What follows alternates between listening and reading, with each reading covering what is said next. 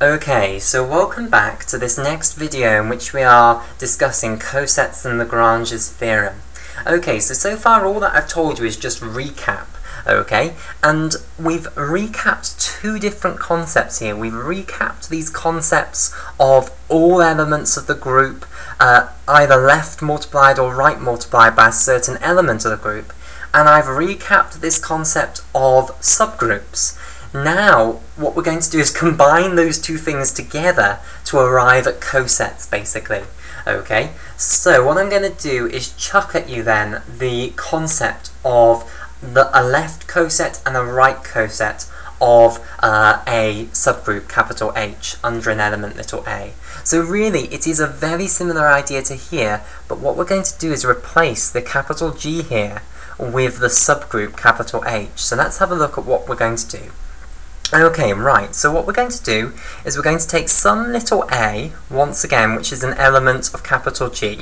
So you take an arbitrary element of the group capital G, okay, and what I'm going to define then is two sets, okay, the set AH and the set HA in the same spirit as I defined these ones up here, okay, and this one here, where we've got A on the left of the uh, capital H, is going to be called the left coset of the subgroup H, so I'll give it its full title. So the left coset of the subgroup capital H under uh, the element little a, okay? Uh, and of course, you could choose different little a's to do this with, so it is important to specify which little a you are using. So this is going to be called the left coset of the subgroup capital H under the element little a. Okay, and this one is going to be called a very similar thing. We're just going to replace the left here with right, basically. So it's going to be the right coset of H under little a. So just copy out all of that, but replace the left uh, with right here. Okay, so that's nice. We now know the names of these things. What actually are they? Well, again, they are sets, okay? And they're going to be subsets of the group capital G. Okay, so let me now define them.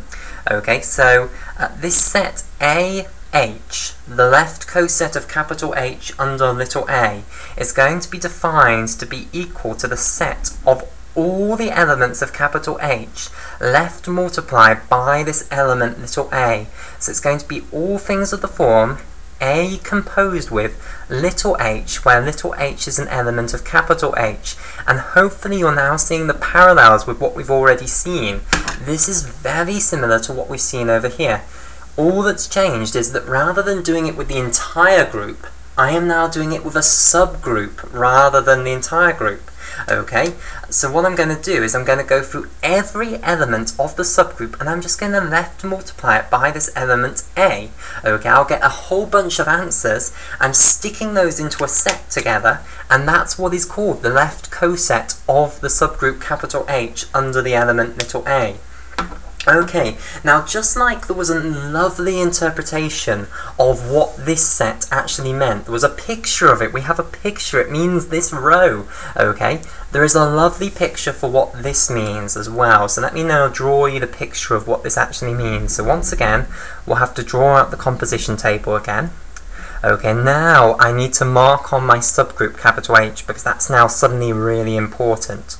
Okay, so once again, I'll copy this out here. So here is my subgroup capital H, and I've suppo I'm supposing that I've clustered all the elements of capital H together, okay, so that I can think of uh, them as all being together and think of this subsection of the composition table as being the composition on the subgroup capital H. Okay, so once again I'll mark this out in red here. Okay, and now what I'm going to do is I'm going to pick this arbitrary element, little a, from the group. Now, at no point did I say that little a had to either be an element of the subgroup or not be an element of the subgroup. It could be any element within capital G. Okay, so it could end up actually being an element within the subgroup. It could just so happen that you pick an element, little a, within the group that ends up being within the subgroup, or it could end up that it's not within the subgroup. Okay, for the basis of this picture, I will suppose that it is not within the subgroup, simply because it makes the picture look nicer when we're first drawing it, but you could have it in the sub being within the subgroup, and we'll come back to that point later on. So I'll put my little a here, okay, and of course little a will have an entire row in this composition table that will be dedicated to it here. Okay, so now let's think up, what does this set actually represent? What does this left coset of H under A actually represent in this picture? This means all elements of the subgroup capital H here left multiplied by the element little a. So what does that mean? Well, hopefully it's apparent that that means this sub-portion of the row corresponding to A that is underneath capital H. So let me just colour this in. So all of the elements in this subsection of the row corresponding to little a, okay, uh, are going to be um, in this set, okay, because they correspond to the element little a multiplied by all of the elements of capital H. So what you're doing is you're taking little a and you're going through all of the elements of capital H, all of the columns corresponding to elements of capital H, and you're asking what is a composed with those elements, and the answers are in this section here. So this is what is meant by the left coset of H under A, basically. That set there. Okay? And because we know capital G is a group, okay, we know capital G is a group, then we know that this row here contains every element of the group once and only once. So that means that the elements that appear in this little section here have to appear only once. You can't have any elements appearing more than once. So that's something again that we'll come back to later on.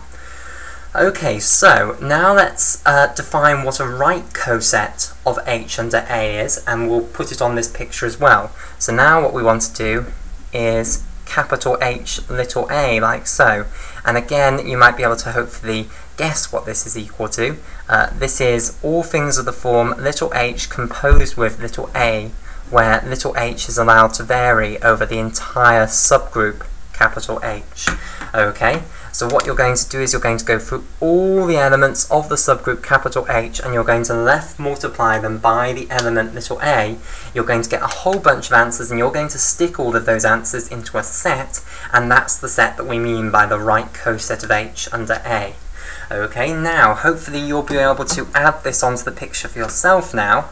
So what we're going to do is we're going to go through all of the elements of capital H and this time we are right multiplying them by little a. Now that means that we need the column dedicated to little a.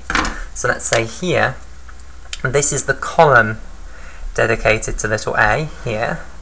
Okay, uh, and now we don't want the entire column dedicated to little a because the entire column would be g little a. Okay, it would be every element of the group uh, right multiplied by little a. We just want all the elements of the subgroup right multiplied by little a. So we want this subset of the column here. Okay, which I will colour in in vivid purple here. And that will be all of the elements of capital H right multiplied by little a, i.e. it will be the right coset of uh, capital H under little a here. Okay, right, so there is our picture of the right coset of capital H under little a then. Okay, so there is the definition of the right coset and the left coset of a subgroup capital H under little a. So let's now start talking about uh, these left and right cosets to get a better understanding of what they actually are and what they contain. So the first thing to say is that absolutely always these left and right cosets of the subgroup capital H under the element little a are always going to contain the element little a itself.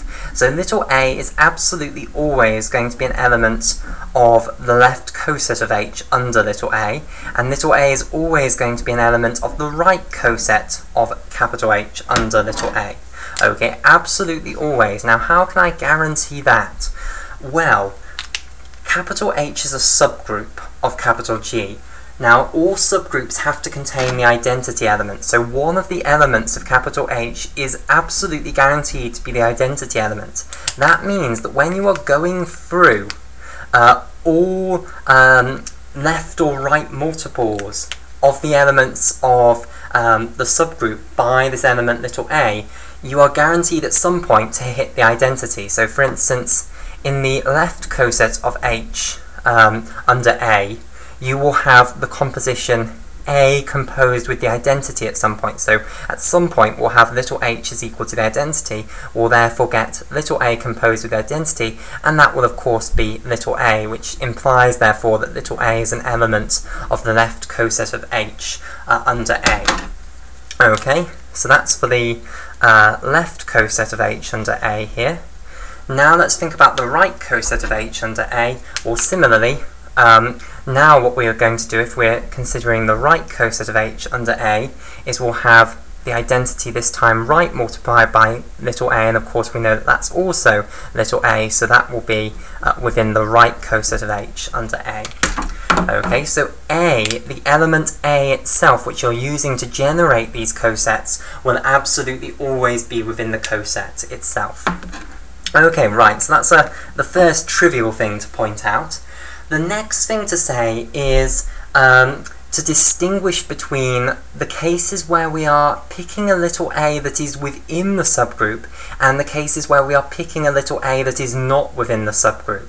Okay, right, so now what I'm going to do is go back to that case that I said I would come back to, which is what happens if we take uh, the left or right cosets of a subgroup capital H under an element little a which just so happens to be within the subgroup itself. So this picture assumed that little a was not within the actual subgroup itself, but what would happen if little a was an element of the subgroup itself? Okay, what would we then be doing? We would be taking AH and HA. Okay, now hopefully you can, you might be able to see that we're actually back to this situation up here. Okay, here we were studying an element, little a, within a group, and we were uh, constructing this set, A capital G, where we were taking all left multiples of the elements of the group by the element A, and here we were uh, constructing this set G little a, where we're taking all right multiples of elements of the group by little a. Here, all I've done is change the notation to capital H now. I am taking all left multiples of the elements of this group, capital H. Forget that it's a subgroup. View it as a group in its own right. It's a set of symbols with a composition law defined on it. Okay? And I'm taking all left multiples of the elements of capital H by this element A, which is in the group itself. Okay, so this is the set containing all things of the form A composed with little h, where little h is an element of capital H. Okay, so I'm taking all left multiples of the things in the group by another element in the group. Okay, right, uh, so if I actually draw this out in the composition table for the subgroup capital H, so here is the composition table for the subgroup capital H. So now what I've done is I've just pulled this red portion of the composition table for the group capital G out, and I've got rid of all this blue portion. Okay, so this now is just the red portion because I don't need the blue portion anymore. Okay, and I have got some element, little a, which is within my subgroup, and I am effectively asking for all the elements in one of the rows of this composition table. I'm asking for all the left multiples of the elements of capital H by this element uh, little a. Okay, and that's what this uh, left coset of H under A actually is going to be if A is an element of capital H. Now, of course, this is a group, so it obeys that property that we uh, looked at originally, which is that all the rows in the composition table of a group contain every element of the group once and only once. So this row must contain all the elements of the group, basically, which means that this set must actually be equal to the entire subgroup itself.